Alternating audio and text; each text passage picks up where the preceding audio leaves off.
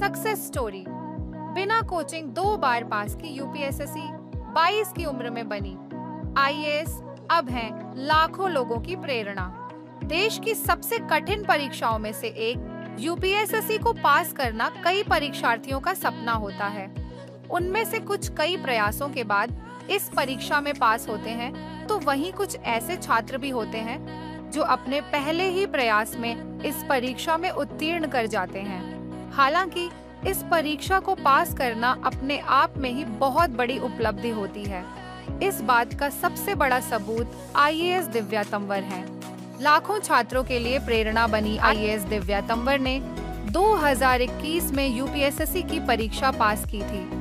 अपने पहले ही प्रयास में उन्होंने 438 रैंक हासिल की। दिव्या ने जब यह परीक्षा दिया, तब वह महज 21 वर्ष की थी।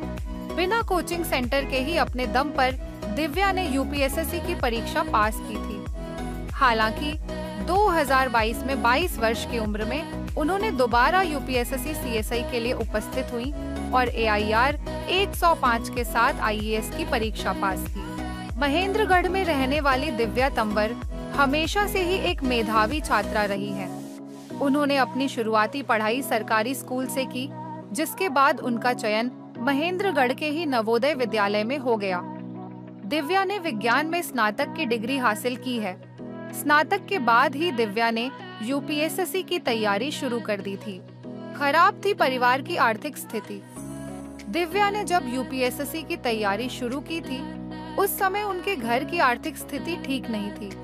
इसके बावजूद माँ ने इस सफ़र में दिव्या का पूरा साथ दिया। दिव्या की माँ ने अकेले अपने तीन बच्चों की देखभाल की IAS Divya Tanwar social media पर काफ़ी एक्टिव रहती हैं।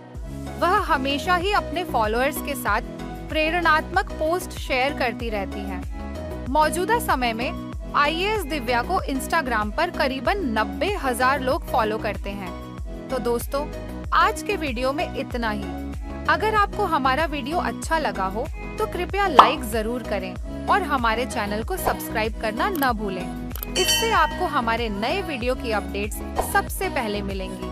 अगर आपके पास कोई सुझाव या सवाल हो तो कृपया कमेंट सेक्शन में लिखें। मैं आपके कमेंट्स का इंतज़ार करूँगा।